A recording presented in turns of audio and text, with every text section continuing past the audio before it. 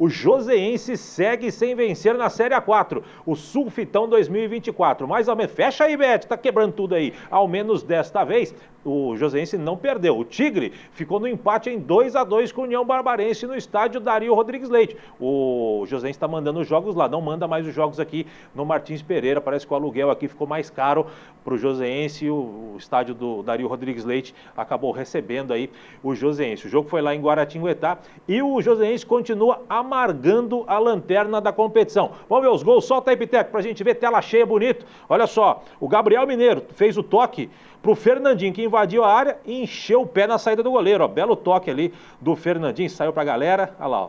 olha o gol ali.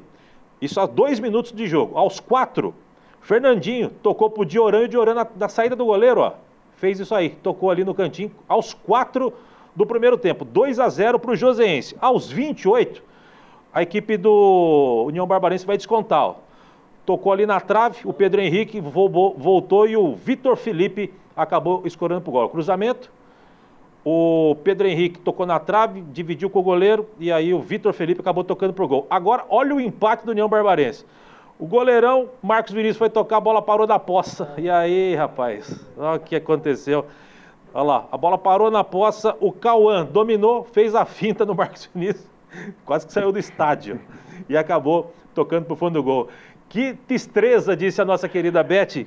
É, é, é triste. A gente está dando risada aqui, porque realmente o lance acaba sendo engraçado. Mas Joseense abriu o placar 2 a 0 com 4 minutos de jogo e toma o gol de empate ainda no primeiro tempo, aos 44 do primeiro tempo, desse jeito, Brunão. Pois é, o goleirão quase saiu, saiu do quadro. Foi, foi arrastando, arrastando, arrastando, quase, quase foi embora. Mas o. Infelizmente para o Joseense, mas assim, é, dá para ver que o Joseense apresenta alguma coisa, pelo menos dá para tirar melhora. isso. Então melhorou. Quem sabe agora o próximo jogo contra os Paralamas do Sucesso do SCA Brasil consegue aí a primeira vitória.